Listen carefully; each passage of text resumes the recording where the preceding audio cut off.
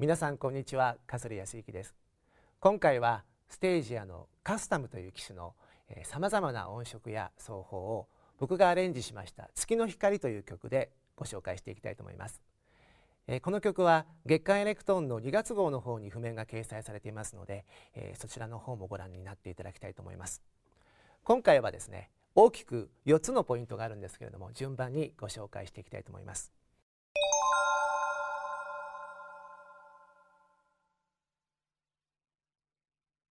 まず最初なんですけれども1番目のポイントは、えー、カスタムの VA という音色です、えー、この音色は、えー、他の AWM の音色と、えー、キャラクターが異なっているので非常に豊かな音楽表現を作る時に有効です。今回はこの VA の音と、えー、やはりカスタムの特徴であるホリゾンタルタッチこの2つを組み合わせて、えー、月の光の中でご紹介していきます。ではえー、その部分を最初に演奏してみたいと思うんですが譜面でいうと B の冒頭の部分になります。では音を出してみます。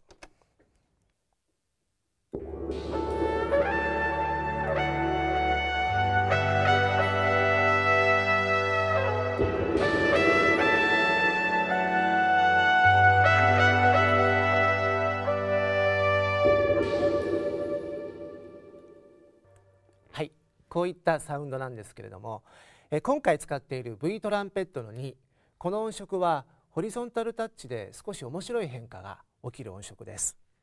鳴らしてみますね。えゆっくり弾いてみますんで音の変化を聞いてみてください。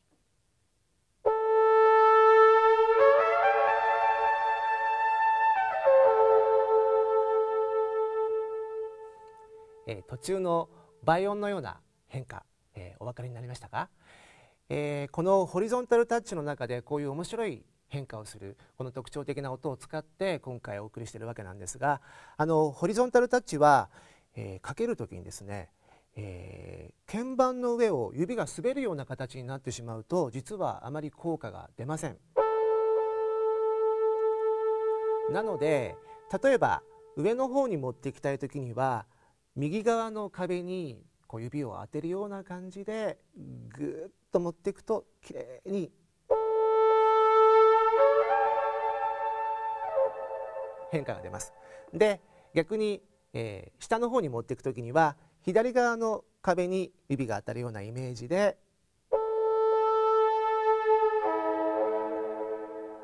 というふうに奏法を持ってくると非常に、えー、上手にいきますので試してみてください。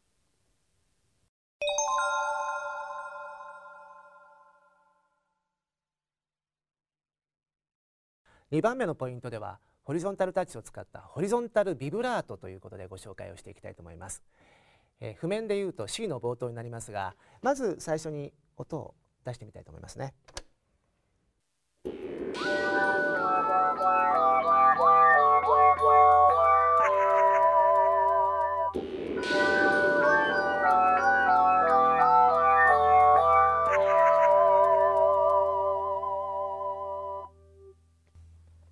こんなサウンドです。イメージとしては近未来風のコンピューターサウンドコンピューターが歌ってるようなイメージの音色なんですけれどもここでホリゾンタルビブラートを活用しています。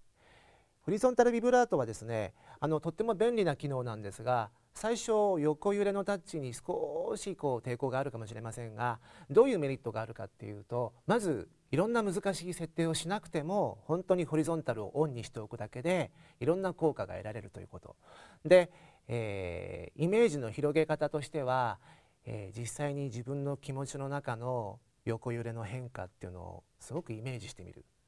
まあ歌ってみたりするといいと思うんですがふーこういう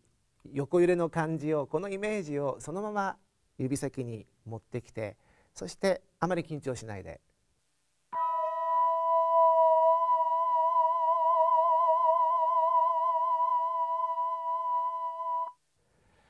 早くしたり遅くしたり、えー、少しタイミングを待ってからかけたりいろんな変化を気の向くままにすることができるのでとてもおすすめの機能です。